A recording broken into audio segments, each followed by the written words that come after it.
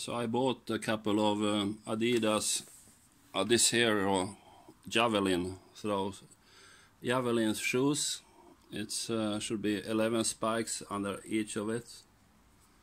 So this is the first time I put it on the feet. So I have no clue how they will work. I can say that they are quite tight for usually I have uh, larger shoes but um, you should not um, you should not buy too large shoes when you throw javelin. That's what I heard because they tend to be bigger after a while. So they are tight but it's not painfully tight. I will manage it. So I shall th I think I shall try them out uh, in a couple of days on the throwing field so um, I will just take it easy because I will not throw 100% with 100% force but I will throw anyway. So let's see then. I will continue to tell more about them. So okay. So now I did uh, attach the spikes. So it's uh, four in the back and seven in the front and there is a, a tool for for the spikes. So it did not come with any extra spikes so that you have to buy for yourself. I think it would have been convenient if they just brought some extra spike with them just in case you need to replace it. There you have the Adizero mark so, as I said, I will try it out in a couple of days and then I will come back.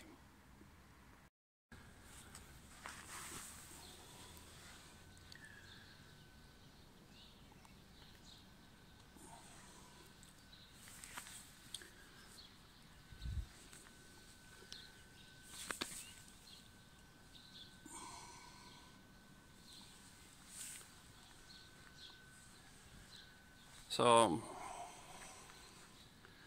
this is the Javelin shoes. I'm trying out them for the first time. They uh, feel feels very good right now. Let's see what's happened. If I can use them, if I have any any benefit from them or not. I can only say that uh, it feels great with uh, these shoes. I get a good grip and I didn't feel any uncomfortable when I ran with them. So I look forward to throw with them. But I will not throw far away from 100% throw today. I will not take too much power because I have to save my arm.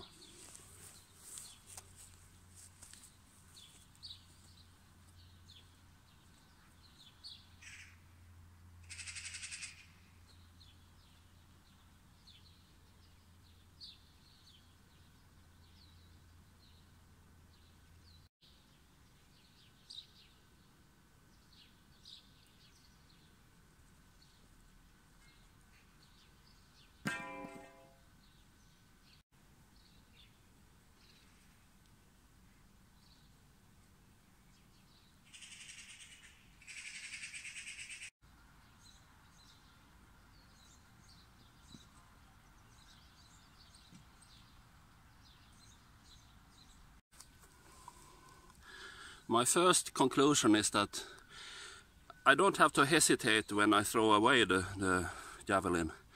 I can I, I, don't have to be worried that I will slippery or something with it when I throw it away. So I have 100% grip uh, on my left foot to to block my my throw, and that that's that feels so great.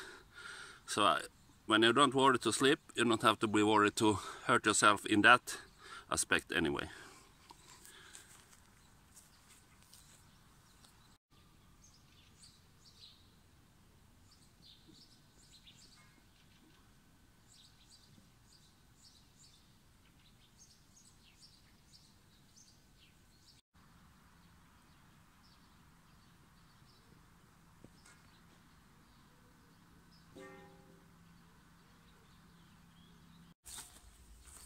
It feels like it's a world of difference to throw with the spikes and without spikes.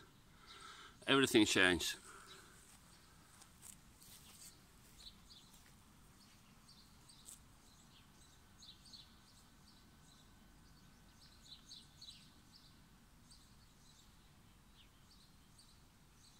store the score between between the throwing sessions so they are not uh, put them on this kind of of plastic rag.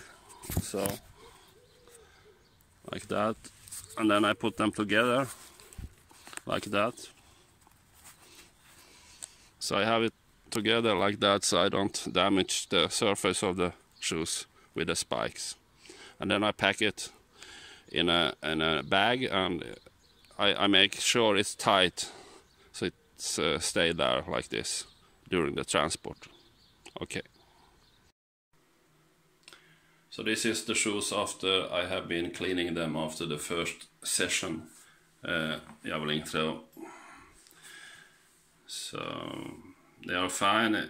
All the spikes are uh, attached correctly. No one have loosening up. Uh, there are some kind of textile here under the.